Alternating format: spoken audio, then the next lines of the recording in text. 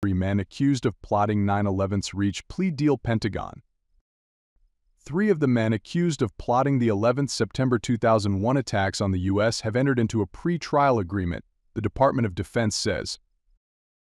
Khalid Sheikh Mohammed, Walid Mohammed Salih Mubarak bin Attash, and Mustafa Ahmed Adam al-Hawsawi have been held at the U.S. Navy base at Guantanamo Bay, Cuba, for years without going to trial.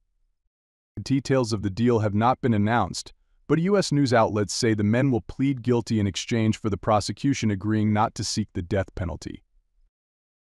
Nearly 3,000 people in New York, Virginia, and Pennsylvania were killed in the attacks, which sparked the War on Terror and the invasions of Afghanistan and Iraq.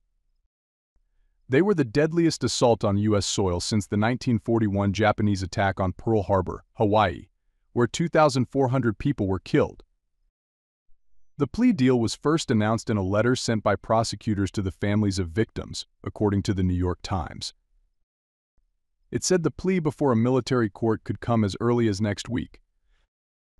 In its announcement, the U.S. Defense Department said the specific terms and conditions of the pretrial agreements are not available to the public at this time.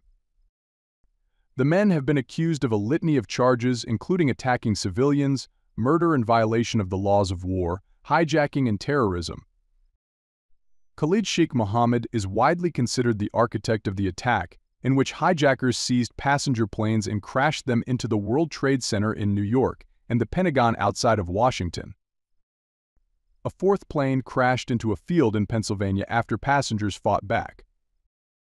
Mohammed, a U.S.-educated engineer, was captured along with Hawsawi in Pakistan in March 2003. Prosecutors argued that he brought his idea of hijacking and flying planes into U.S. buildings to al-Qaeda leader Osama bin Laden and later helped recruit and train some of the hijackers. He was subjected to a number of enhanced interrogation techniques, including waterboarding simulated drowning at least 183 times before the practice was banned by the U.S. government.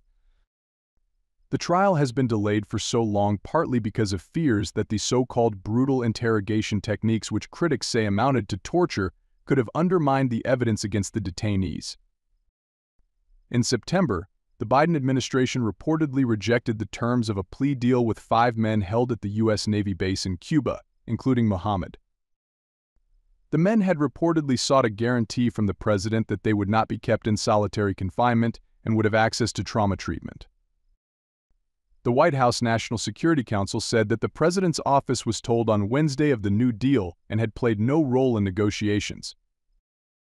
Jim Smith, whose wife died in the attacks, told the New York Post that families of victims had waited 23 years to have our day in court to put on the record what these animals did to our loved ones. They took that opportunity away from us, he said, adding they should receive the highest penalty for their roles. Republicans, too, were quick to attack the Biden administration for striking a deal with the accused. Senate Minority Leader Mitch McConnell condemned the move as a revolting abdication of the government's responsibility to defend America and provide justice. The only thing worse than negotiating with terrorists is negotiating with them after they are in custody, he said,